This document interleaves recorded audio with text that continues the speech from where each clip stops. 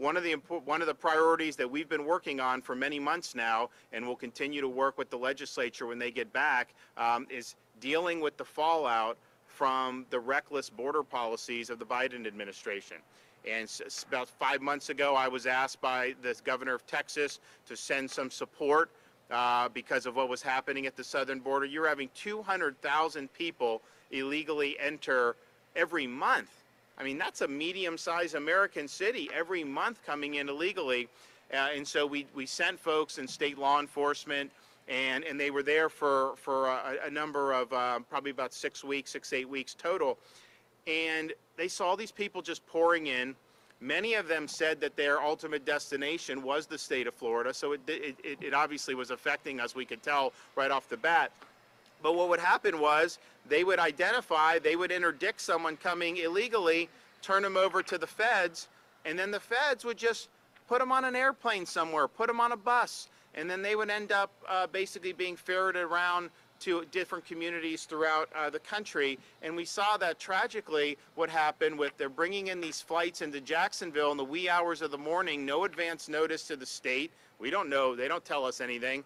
Um, and you had somebody posing as a minor who's actually about 24 years old and ended up committing a murder. And again, if the if the border had been secured and if the policies weren't so reckless, that would not have happened.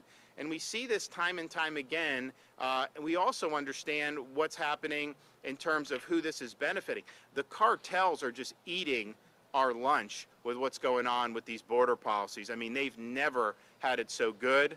Uh, you got drugs pouring across. You've got human trafficking coming, uh, and there's obviously some of the people come in will also commit additional crimes. But just with that, the sheer number of people is a huge burden on communities. When you talk about healthcare, schools, all this other stuff. So we filed suit against the Biden administration uh, several months ago about uh, challenging the catch and release policies. That case is still pending in the Northern District of Florida in the Pensacola division, but I will tell you, already we've seen movement. They filed a motion to dismiss our case, but in the motion they say they have actually changed their policy. What they had been doing when our guys were down there, they'd give them what's called a notice to report. And basically, it's like the honor system. Hey, you're here, you're going to have a hearing. Call this number and schedule your hearing, you know, on your honor. Can you imagine that? Can you imagine if that's how we did law enforcement uh, here in, in, in Florida? Someone robs a bank and they just get a notice, hey, just call the prosecutor and schedule your trial whenever it, whenever it makes sense for you. It's an honor system. That doesn't work. So they've acknowledged that they have uh, replace the notice to appear or the notice to report, which is wi- with what's called the notice to appear, which is important because if you don't show up when you have a notice to appear, then immediately you can be sent back without any additional process. Um, and I don't think that would have happened if it wasn't for our efforts on really pushing the envelope on this and fighting back. So we'll see what's going to happen. There's a lot of other things in that case, and they've been able to do some stuff, but at a minimum, yeah, that, that's an important victory. But we realize we've got to do more. And so we're going to be proposing a series of legislative uh, reforms that will help strengthen Florida's hand in fighting back against the Biden border crisis and what we've seen happening for almost the last year uh, in terms of what's happening to our country.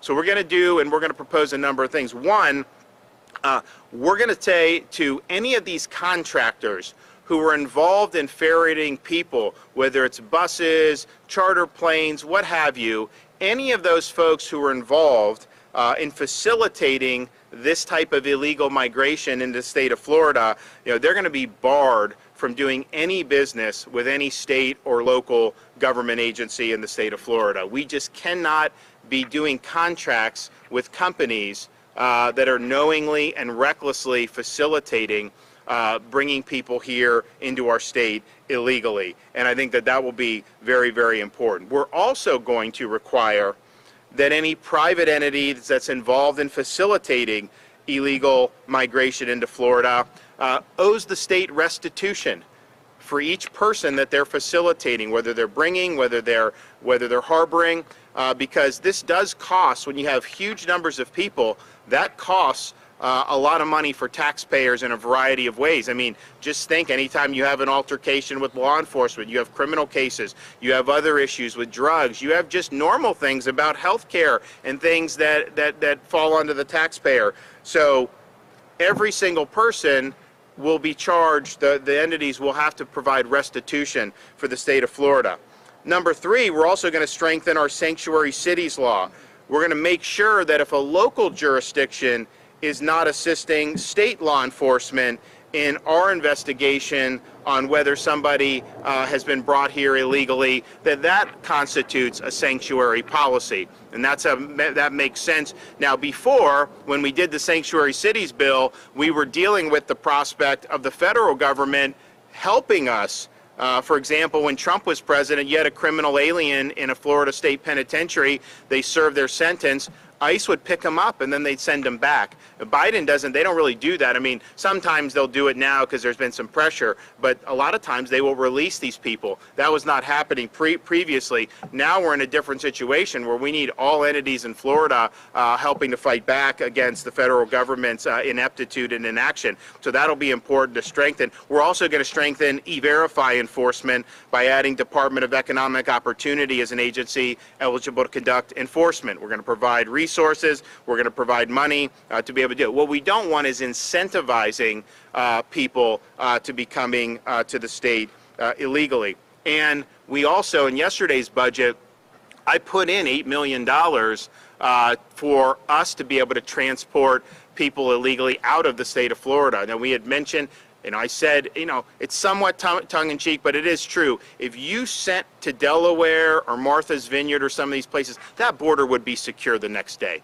That border would be secure. Um, but instead, they're, they're imposing the results of their policies um, on states like Florida, who they love to hate or whatever. Uh, so, but we are going to provide that uh, opportunity, and I think that that could potentially make a, a difference. Uh, we want to know if somebody is committing criminal activity, if they're arrested, or certainly if they're convicted. You know, we want to know uh, whether they are here illegally. That matters. That, that matters for uh, adjudicating these policies. It matters for the costs that are imposed on our on our state.